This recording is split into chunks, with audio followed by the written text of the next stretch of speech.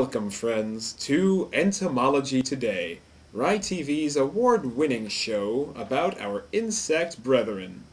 Today, we are privileged to have in our studio Nicodemus, the trick ant of St. Petersburg. Hi, I'm Nicodemus. I'm sorry, I, th- I thought that Nicodemus was supposed to be an, an actual, you know, like an actual little ant. I am an actual ant. No, you're you're not. You're just a you're just a person. You're just a person doing this. I'm an ant. Okay. Um, how about this? Can you can you prove to us that you're actually an ant? Yeah. Whoa!